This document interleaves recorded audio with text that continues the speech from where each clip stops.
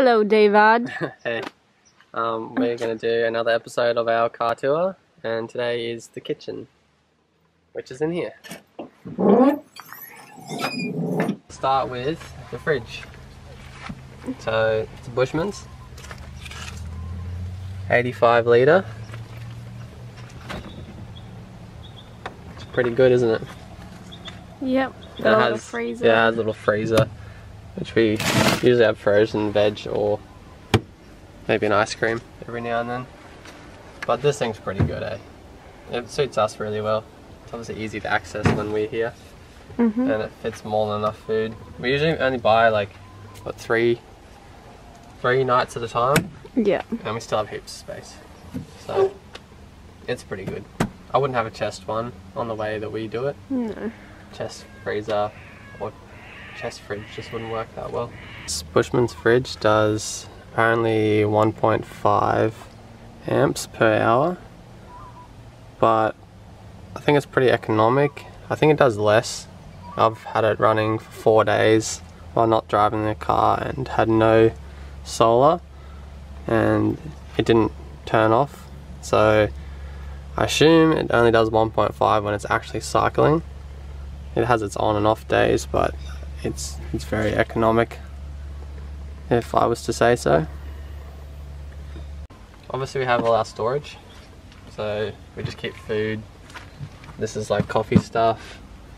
Um, there's like cutlery and food in there as well. It's nothing too exciting, but it all fits. And then up here we just have cups. Cups and like the gas cylinders and stuff.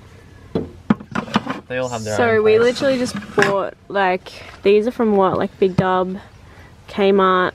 Yeah, I And- think these were only like 20 bucks a pop or something. Yeah. And then we just got these little um, fly screen swivels from Bunnings. It was like $2 for 20. And then we just made these. So, So they don't come out when you drive. Because when you drive, if you do leave them open, they do, they do come out. They can't really go too far because obviously the door's there, but um, they work pretty good. And then in here we have, I can't really see, but usually keep sauces. Hard to see in the back, but we just keep like the Billy can, um, some cereal, got the fire extinguisher, and then just other random stuff in here. Oh, and our lighter, which on Velcro. So when we're setting up, this is our little invention. Well, it wasn't our invention. I saw it on Facebook. So it just uses the um, jack off canopy points for our table, which I have here just from Bunnings. But unfortunately, so we just got angle. It just sits obviously on that other angle, um, that boxed angle. But after it sat in the car for a month while we're working, it's um warped, so it doesn't actually fit very well anymore. It used to just used to slide on real easy, but now we have to Give it some of- muscle. Yeah, give it some muscle. It's just not really on there, but yeah, it works. But it used to sit there perfectly. Mm. So that's our little space. And then in here, that's all we cook with. What is it? Coleman Fyreknight. Gladiator Gladiator Fire series. Night series. And we got this just off Marketplace. But it's pretty How much is it? Like 50 oh, bucks. Like 50 bucks. Yeah. But it's so good. It doesn't, it literally doesn't go out. So this is all we do for the setup. We've got our gas container back here. It's just clipped in. And um, yeah, obviously just run that to run the gas. And that is our setup.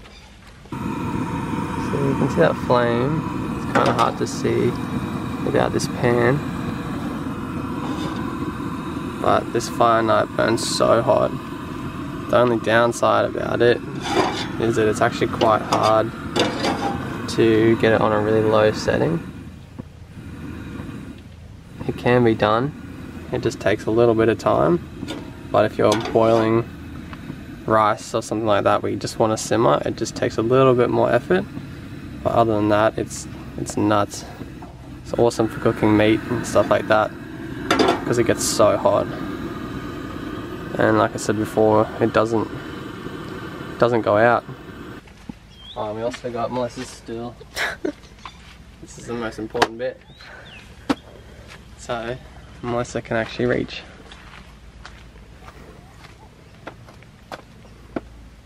Perfect. so this is our cooking equipment. This is all we have.